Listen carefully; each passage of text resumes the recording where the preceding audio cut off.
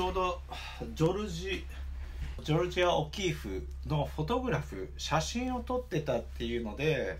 それを特集したカタログなんですけれど、まあ、これがオキーフさんですね。であの絵で撮ってる絵で絵でも描いてますし写真でも撮ってるっていうことでえっ、とそうですね。これですね。オキーフさんは非常にシワが美しいんですよね。シワが美しい女性って僕は憧れますけどこうやってちょっと村上春樹的な骨とかも作っててあとは花も取ってらっしゃるっていう、まあ、そういう感じでちょっとどういう感じの人なのかっていうのがちょうど見せれたらなと思って取り上げましたあとはですねウーマンストリートフォトグラファーっていうので100人の現代女性写真家を取り上げたやつなんですけれどまあ、本当に女性に特化して写真をやっているっていう風な特集が組まれることもあるってことですね。あとはクリスチャン・ディオールの写真を撮ったブリジット・ニーランダーっていう人がいるんですけれどえっとですねまずニーランダーさんこのこの写真すごく有名で「We should all be feminists」っていうみんなフェミニストになるべきだっていう写真が僕は印象的だったんですけどあとはこういうですねこれ口紅なんですけど鼻から唇が突出しているっていうもの。あとは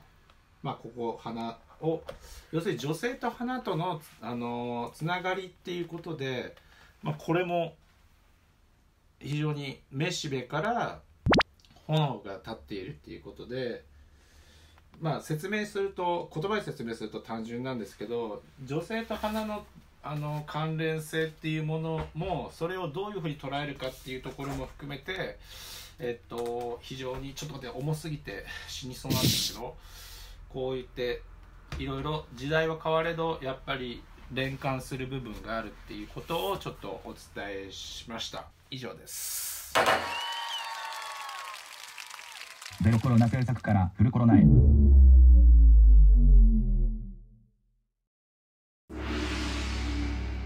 2022年11月末死去89年の天安門事件でのし上がった江沢民。So, what's happening in China now? Holy fucking shit,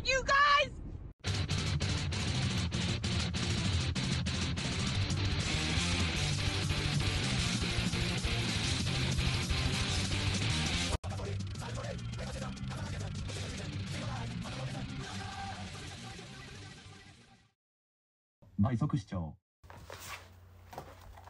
でちょうどこれ入ってきたんですけど2022年、えー、5月ステッピングアウト Female Identities in Chinese Contemporary Art ということで2022年の5月13日から10月16日までノルウェーのリレハンメル美術館で行われた展示で1960年から1994年生まれの中国に住んでいる27名のアーティスト女性アーティストによる100点の作品を展示している展示のカタログです。でこれ今エッセイ書いてあって本の構成としては、まあ、こういうのとかもありますけど1960年生まれまあここに数字が書いてあるのが生まれでずっとこうやってクロノロジカルっていうか時系列的に追ってるんですけど63年64年66年多分1年に1人のペースで紹介するっていうやつですね。これとか僕全然知らない人ばっかりなあこの1978年のカオフェイさんは知ってますけどこれはあのセミナーでもご紹介しましたけどあとほとんど知らない。1949年毛沢東中華人民共和国を建国。作風中国共産党の価値観を促進する宣伝芸術が多数派。抵抗抗議は少数。チャイナの現代アートシーンが今経済の発展とともなってプラスグローバル化の影響の増大で注目されてるんですけれど。1976年グローバル資本主義への移行。未だ表現自由の保障なし実際にそういう現代美術の国際的な認知が高まっているにもかかわらず出版物とか国際展とかで中国人女性アーティストの露出が少ないと。90年代ようやく女性によるアートが台頭身体が女性アーティストの主要な媒体に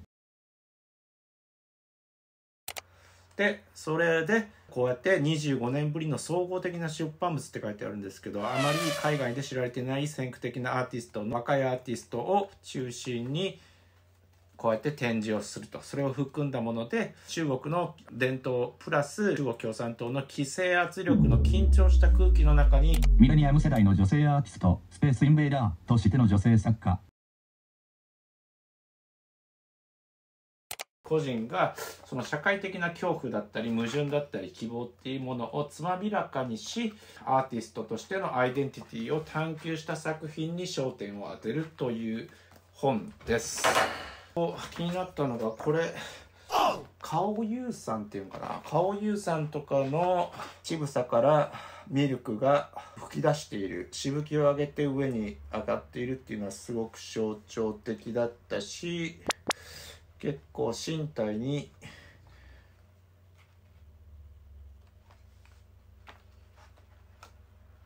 身体に中心焦点を当てたものが多いですね。まあ、エッセイもあるんですけれど、ここに紹介があったりして、まあ、今の、今の中国の、あの、そうですね、27名の女性アーティスト、1960年から90年までの人に焦点を当てたっていうので、結構貴重な本だと思います。あと、えっと、前回セ,、えっと、セミナーでシュバブスキーさんが、まあ、中国が現代アートの新しい歴史を作るだろうっていうところに、フェミニズムの視点から、えっと、食い込んでくるっていうところも一つの見どころなのかなっていうふうに思います。出走って書いてあるんですよね。まあ、東大芸術中的女性身分ということで、まあ本当に規制から、ある種の枠組みからの逸脱、ステッピングアウトしようっていうのを軽やかに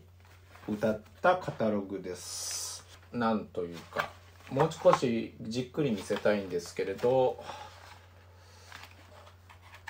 こういう感じで、Female Identities in Chinese Contemporary Art ということで、中国の現代アートにおける女性のアイデンティティというものをご紹介いたしました。レボリューション白紙革命。1989年天安門事件以来最大の反政府デモ南京交通学院の女子学生現在行方不明。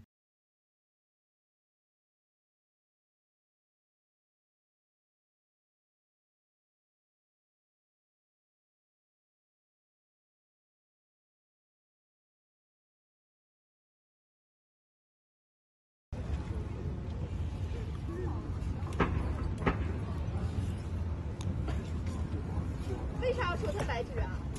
白纸能有什么攻击力啊？对呀、为啥要抽他白纸啊？你一会儿看哪去？为啥要抽他白纸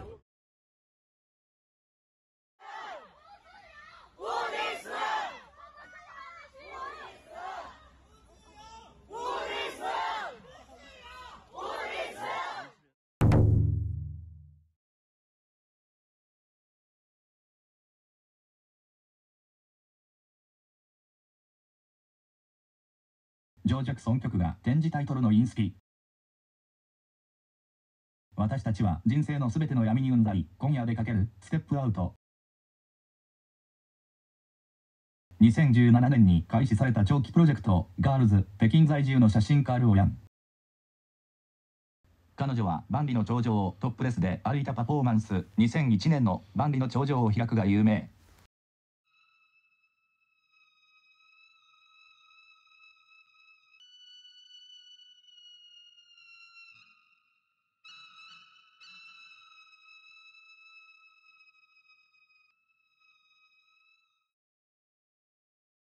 ムサビにて女性の発展が未だに伝統ジェンダー感に阻まれている起源を漢字の成り立ちに探った張雲明さんの展示。以前は男性が支配していた空間に入る女性は依然としてその空間を占有する明白な権利を持っていないという202プアルの主張の正確さは古典とグループ展のジェンダーバランスの分析によって明らかにされています。